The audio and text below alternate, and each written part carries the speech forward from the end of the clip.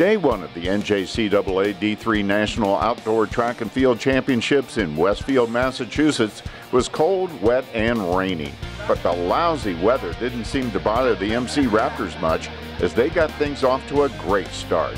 There were just a handful of finals in day one, but MC made their mark. In men's long jump, Mike Scott battled a wet track to finish second in the nation with a jump of 6.75 meters. His teammate Zachary Richardson Jackson joined him in the top eight, finishing seventh. In women's long jump, both Brianna Rhodes and Chenille Thomas made the finals, and Rhodes came in second in the country with a jump of 5.09, just missing first. Thomas finished eighth.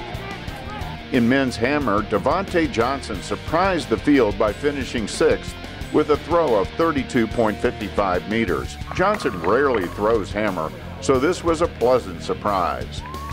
And speaking of someone who rarely competes in an event, Brianna Rhodes, who had only thrown the javelin twice in competition before nationals, finished sixth in the country with a throw of 28.27 meters.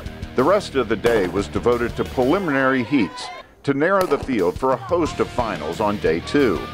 And MC qualified for a boatload of them. The men's 4x100 meter relay team had the best time of the day and will be the top seed in tomorrow's final.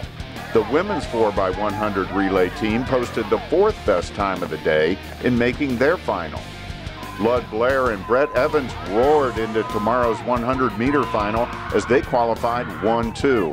Evans and Blair also both qualified in the top five for tomorrow's 200 meter final. Brianna Rhodes won her heat with a time of 12.80 and also qualified for the women's 100 meter final. And in the hurdles, Sam Posnewski ran a strong time of 57.54 and qualified fifth overall for the finals in the grueling 400 meter men's hurdles.